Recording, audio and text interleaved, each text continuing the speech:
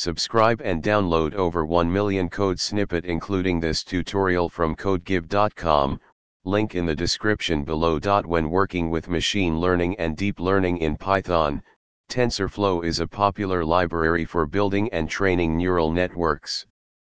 However, sometimes you might encounter a module not found error indicating that there is no module named tensorflow.python.keras.preprocessing. This error often occurs when you are trying to use the pre-processing module from the Keras API within TensorFlow. This tutorial will guide you through resolving this issue.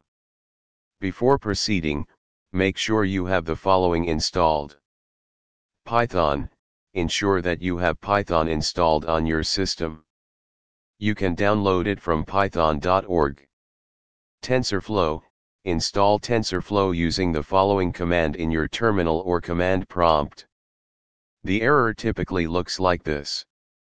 This error occurs when the specified module is not found in your Python environment.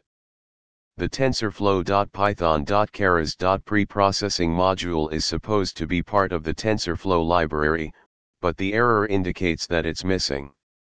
The issue might arise due to a version mismatch or an incomplete installation. To resolve this, follow these steps. Ensure that you have the latest version of TensorFlow installed.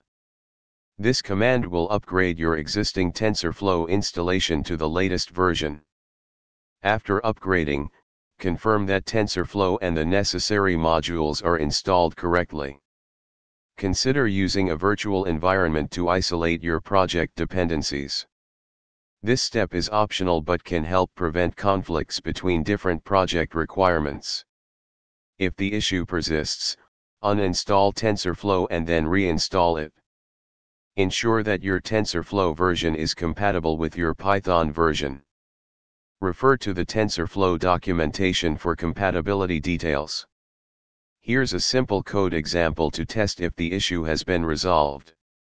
Run this script, and if there are no errors, you have successfully resolved the module not found error. By following these steps, you should be able to resolve the module not found error related to tensorflow.python.keras.preprocessing. Remember to keep your packages up to date and ensure compatibility between different library versions.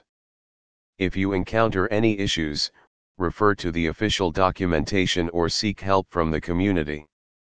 ChatGPT